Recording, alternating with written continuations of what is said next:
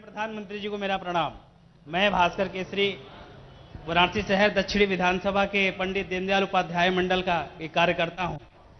सर्वप्रथम मैं आपको धनतेरस, दीपावली, गोवर्धन पूजा में भैया दूज की हार्दिक बधाई एवं शुभकामनाएँ सभी काशीवासियों की ओर से। आदरणीय प्रधानमंत्री जी, हाल ही में 2 अक्टूबर 2019 को हम लोगों ने 150वीं गांधी जी की जयंती पूरी की। जिसमें विभिन्न प्रकार के आयोजन किए गए। इस तरह का कार्यक्रम बहुत आवश्यक है। जनसंपर्क करने का अवसर मिला लोगों से और इससे बहुत खुशी प्राप्त हुई। और मैं आपसे एक मार्गदर्शन के रूप में पूछना चाहता हूँ कि और क्या किया जाए जिससे कि हमारे क्षेत्र में गांधी जी के विचारों को और आगे बढ़ाया जाए। कृपया हमारा मार्गदर्शन करें। धन्यवाद।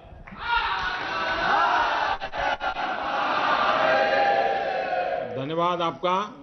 आपने बहुत ही महत्वपूर्ण सवाल पूछा है। देखिए, आप सबकी खुशी है, मेरी खुशी है। मुझे खुशी होगी हर त्यौहार में मैं काशी आ सकूँ, आप लोगों के बीच रह सकूँ। लेकिन आप लोगों ने मुझे इतना बड़ा काम दे दिया है, इतना महत्वपूर्ण काम दे दिया है कि मेरे लिए वो भी एक बड़ी जिम्मेवारी है। उसको भी पूरा करना होता है। लेकिन इस बीच में भी आपका इतना प्यार है, काशी का इतना प्यार है। मेरा ज़रूर मन ज़रूर कर जाता है कि हर उत्सव के समय, हर महत्वपूर्ण अवसर पर आपके बीच रहूँ। फिर से आपने मुझे स्मरण कराया, मैं आपके लिए आभारी हूँ। देखिए, गांधी 150 हमारे देश के लिए एक बहुत बड़े महत्वपूर्ण अवसर है। और ऐसे अवसर होते हैं जो हमें प्रेरणा देते हैं। घर में भी अगर बच्चे का जन्मदिन होता है तो कुछ नया करने का मन करता है।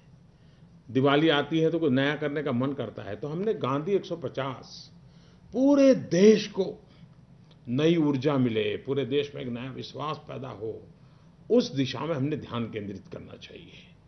और, जब मैं काशी की बात करता हूँ तो मुझे याद है 18 मई 2014 को, जब गंगा आरती के समय हमारे बीच गांधी जी की 150वीं जयंती पर कार्यांजलि देने के लिए चर्चा हुई थी आप सबके साथ।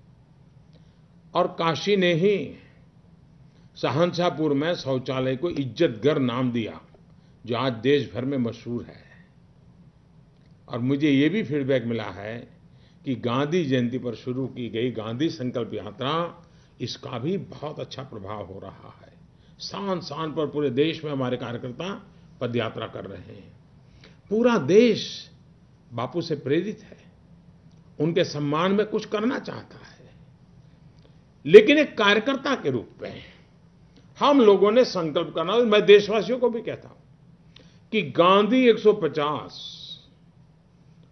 और आज़ादी के 75 2022 ये जो दो तीन साल का समय है, महात्मा गांधी स्वभाषा, स्वदेश, स्वावलंबन, स्वाश्रय, इन सारी बातों की बात करते थे। और मैंने 15 अगस्त को भी कहा था, क्या हम निर्णय कर सकते हैं कि 2022 भारत की आज़ादी के 75 साल तक हम लोकल चीज़ें खरीदेंगे? अगर हमारे गाँव में बनी चीज़ है तो बाहर से नहीं लेंगे। गाँव में नहीं है तो तालुके के अंदर से, ब्लॉक में से कहीं से लेंगे। वहाँ नहीं है तो ज़िले से लेंगे। ज़िले में नहीं है तो पूरे राज्य में से कहीं से मिल जाएगी। लेकिन हम पहली कोशिश करेंगे, जो भी लेंगे, लोकल लेंगे। आने वाले 2022 आज़ादी के 75 साल होते तक, आप देखिए कितना बड़ा हम योगदान कर सकते हैं। ये बात हम कैसे पहुंचाएँ? और मैं मानता हूँ गांधी को 150 को हर सामान्य नागरिक, जैसे मैं कहता हूँ दिवाली है, दिवाली में हम नए कपड़े खरीदते हैं, करी खरीदे, हर प्रकार का फैब्रिक लें, हर प्रकार की चीज़ें खरीदें, लेकिन कम से कम एक खादी की चीज़ या हैंडलूम की, जो हमारे बुनकर भाई बहन बनाते हैं, उनसे कोई चीज़ खरीदें। अब देखिए उनकी, उनके गरीब के घर में दिया जलेगा, गरीब के घर में नई रोशनी आएगी। मैंने इस बार ये भी कहा है कि भारत की लक्ष्मी। इस दिवाली में भारत की लक्ष्मी, इसको क्यों ना करें? हमारे इलाके में कोई न कोई बेटी होगी जिसने अच्छा काम किया होगा। कोई बेटी होगी जो दसवीं कक्षा में सबसे ज़्यादा मार्क्स लाई होगी। कोई बेटी होगी जिसने खेलकूद में अच्छा काम किया होगा। कोई बेटी होगी ने बढ़िया रंगोली की होगी। क्यों ना हम ऐसा कर सके? और भारत की बेटी, यानी हमारी लक्ष्मी, भारत की लक्ष्मी, ये ये समारंभ करें इस बार हम। हर इलाके में समारंभ करें।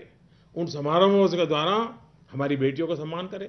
क्योंकि महात्मा गांधी कहते थे कि एक बेटी पढ़, बेटी पढ़ती है तो एक परिवार पढ़ता है। दो परिवार पढ़ते हैं। एक बेटा पढ़ता है तो एक परिवार पढ़ता है लेकिन बेटी पढ़ती है तो दो परिवार पढ़ते हैं। अब महात्मा गांधी ने बेटियों को इतना महत्व दिया था। हम भी दे सकते हैं।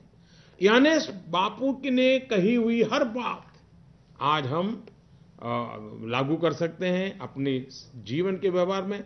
उसी प्रकार से मैंने कहा था कि भाई दिवाली के दिनों में कभी हम लोगों को आदत है, कहीं मिठाई विठाई खाते हैं, फिर आधी फेंक देते हैं, छोड़ देते हैं। इस बार हम तय करें कि ऐसी कोई चीज़ बर्बाद नहीं होने देंगे। किसी न किसी ज़रूरतमंद तक पहुंचाएँगे। बहुत अच्छे ढंग के सम्मान के साथ उसको भी वो खिलाएँगे। आप देखिए जन सामान्य के सुख दुख के साथी बनकर के दिवाली मनाते हैं, उसका आनंद ही अलग होता है। और यही तो गांधी जी ने हमको सिखाया था। यही तो इसी काम के लिए तो देश की आज़ादी में जंग लोग लड़े थे।